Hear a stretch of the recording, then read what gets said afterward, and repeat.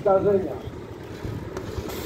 Pierwsza jednostka dojechała na miejsce po rozpoznaniu okazuje się, że w jednym z samochodów zakreślona jest nieprzytomna kobieta, kierowca tego pojazdu zachowanymi czynnościami funkcji życiowych, podróżująca z małym dzieckiem w foteliku przypiętym na przednim siedzeniu. Dziecko płacze. Drugim pojazdem jechał tylko kierowca, który chwili przybycia służb ratunkowych znajduje się na zewnątrz pojazdu, nerwowo biegając wokół rozbitych samochodów. Prawdopodobnie jest w szoku.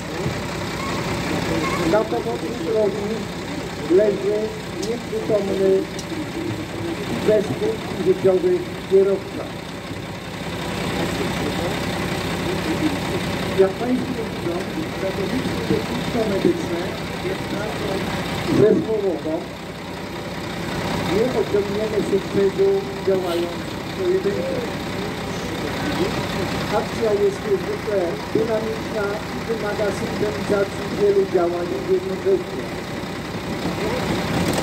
Ratownicy dojeżdżając na miejsce i po rozpoznaniu, jak Państwo widzą, wybiliście z samochodów, zabezpieczają podkorowaną, nieprzytomną kobietę.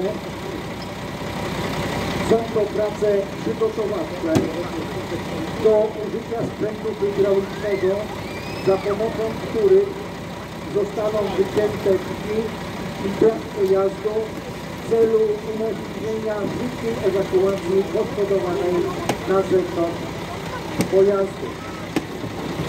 Drugi zastęp OSP działa w rowerzyście, który utracił funkcje życiowe.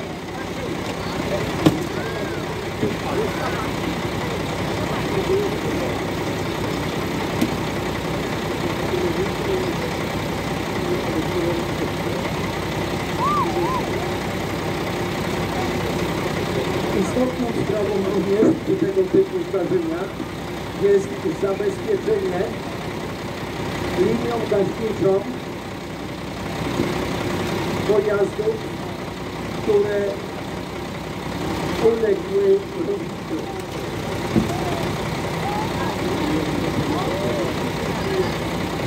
Nastąpiło od strony kierowcy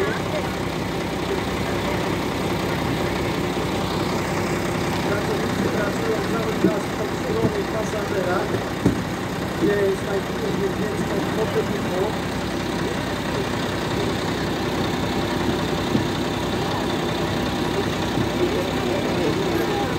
U jednego z poszkodowanych doszło do zatrzymania czynności serca. Krewety właśnie reanimują naszego poszkodowanego. Jednocześnie wykorzystują urządzenie e, AED, czyli automatyczną wentylację zewnętrzną. Czas dojazdu pogotowie zmieścił się w normie. Niemniej jednak strażacy byli pierwszym miejscu zdarzenia i to oni rozpoczęli reanimację.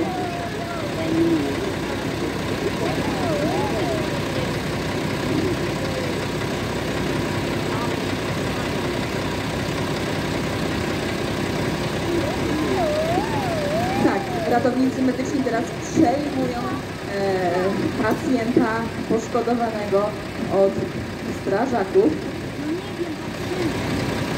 Także wykonując, kontynuując walkę o życie.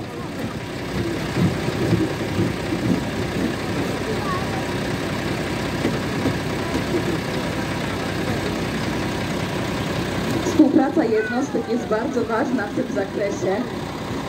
Nie da się jedną jednostką, brzydko mówiąc kolokwialnie, ogarnąć całego wypadku.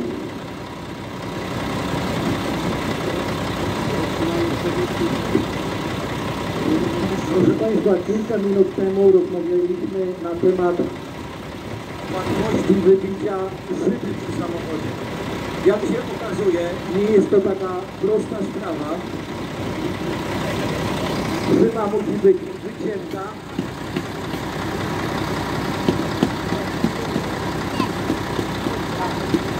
Poszkodowani cały czas są jeszcze w samochodzie. Nieprzytomna kobieta z podtrzymanymi funkcjami życiowymi, z zachowanym oddechem, z zachowanym krążeniem, ale wciąż nieprzytomna.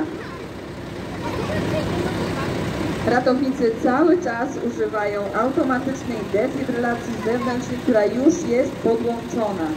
Zostały założone dostęp donaczyniowy, tak zwane potocznie wkłucie. Za chwilę pójdą już leki, aby cały czas walczyć o życie tego poszkodowanego.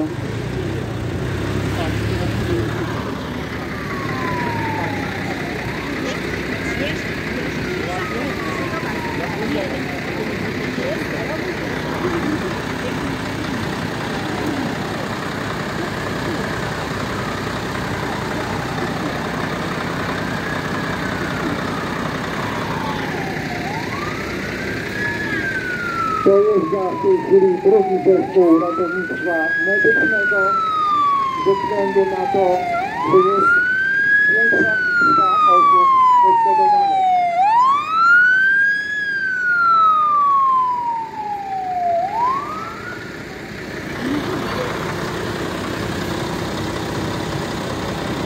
W tej chwili wydobyte dziecko z przedniego fotolika zostaje przekazana do zespołu ratownictwa medycznego. Tak, jednym z poszkodowanych było niemowlę w foteliku. W takich przypadkach przy zagrożeniu zdrowia i życia wyciągany jest razem z całym, e, całym fotelikiem, jest zabezpieczony komfort termiczny, e, gdzieś tam dbamy o to psychicznie, wszystko w zależności od wieku takiego e, dziecka, ale jak najbardziej. Biorąc pod uwagę, że teoria mówi o tym, jeden poszkodowany, jeden zespół ratownictwa medycznego swoją drogą, ale w sytuacji, w której mamy niemowlę, które zabezpieczamy w karetce, e, no, ciężko byłoby wynieść całą niemowlę nie wiedząc nic o nim, a mając na uwadze, że e, w samochodzie jechała najprawdopodobniej mama tegoż to dziecka, która jest nieprzytomna, którą właśnie strażacy wydobywają z samochodu, aby przekazać dla zespołu ratownictwa medycznego. Doskonale Państwo widzą, że niby bardzo prosty mechanizm wypadku, tak? Dwa samochody, rower, no jakby to nie jest jakaś nie wiadomo jaki karambol, niemniej jednak spójrzmy na to, ile sił i środków jest zaangażowanych w to, aby właśnie w takim momencie walczyć. Nasza poszkodowana została wydobyta z samochodu. Zostanie zbadana na desce.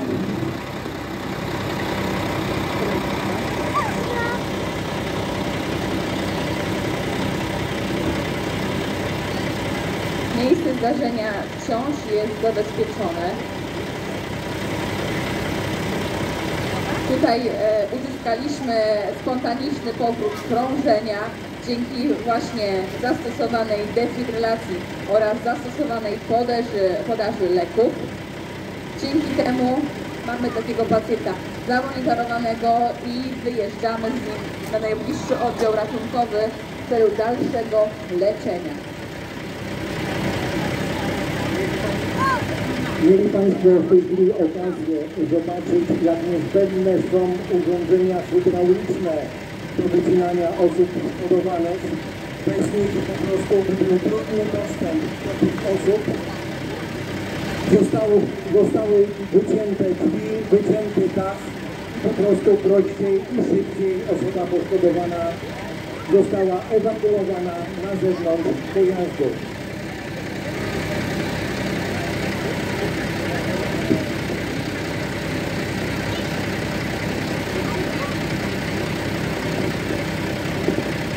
Nasza poszkodowana ma wielonarządowy uraz. Musimy zabezpieczyć w pierwszej kolejności e, urazy takie, które ewentualnie mogłyby spowodować, e, byłyby przyczyną zatrzymania krążenia, zbadać ją na miejscu, zanim e, obóz odwieziemy do, do karetki. Będą pale, a tu jedzie Kierowca samochodu Dzięki współpracy Ratownictwa Medycznego Strażą Pożarną poszkodowany został zabezpieczony w karetce pogotowia. Stąd uda się na sygnałach no zobaczymy. do szpitala.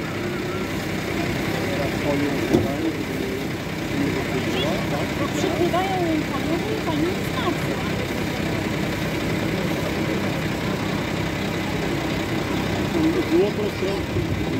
Warto nadmienić tutaj, że kluczowe znaczenie dla tego poszkodowanego, który już znajduje się w karetce, miało użycie automatycznej defibrylacji zewnętrznej.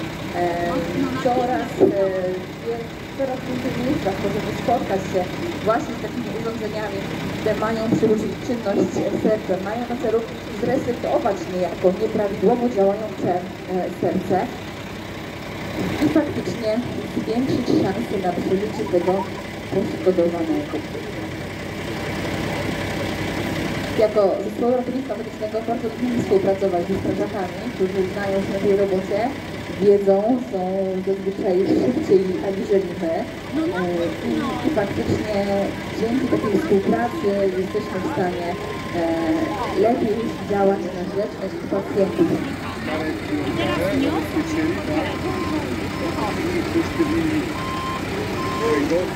głowę, żeby się nie ruszała, bo mogło dojść do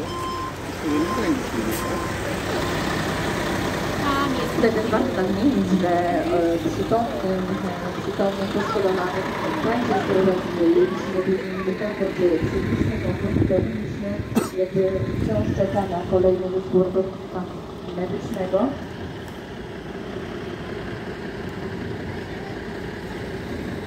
Jednakże jego stan jest jak najbardziej stabilny, zdolny krążeniowo i oddechowo, nie potrzebuje pilnej innej reakcji ze strony ratowniczej. Nie. Dobrze.